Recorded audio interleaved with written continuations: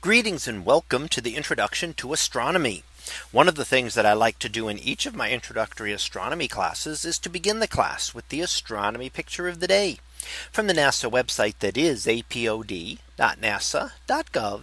apod. And today's picture for April the 11th of 2021. Well, it is titled when black holes collide.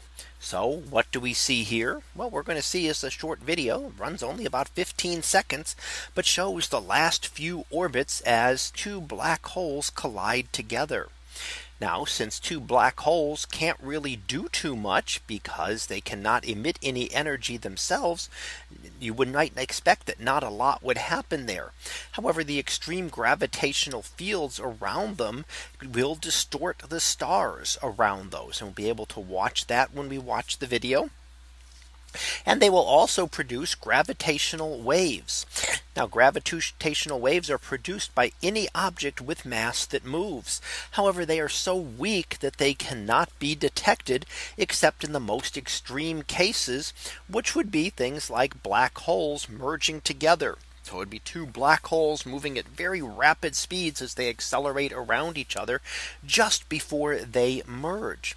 And that was how we first detected gravitational waves a little over five years ago when we were able to find the merger of two black holes. And since then we've been able to find a lot more of these.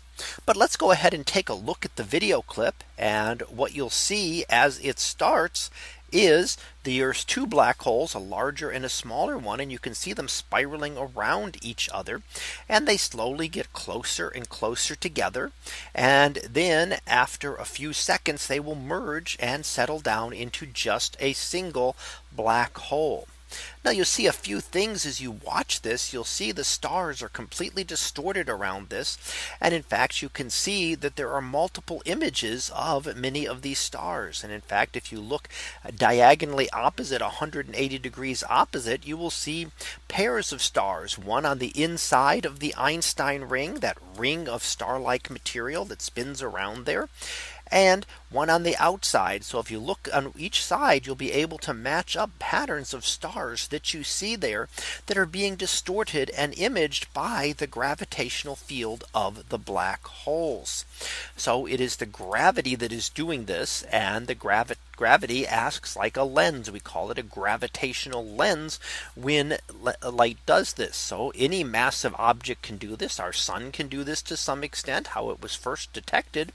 But very massive objects like black holes can make it even more extreme and give even a much larger uh, change. And that's what we're seeing here, where we're seeing completely multiple images of many of the stars uh, in this image. So studying how black holes collide has been opening up a new field of gravitational wave astronomy, which is giving us a better insight into these black holes. So that was our picture of the day for April the 11th of 2021. It was titled when black holes collide. We'll be back again tomorrow for the next picture previewed to be flame, but not fire. So we'll see what that is about tomorrow. And until then, have a great day, everyone. And I will see you in class.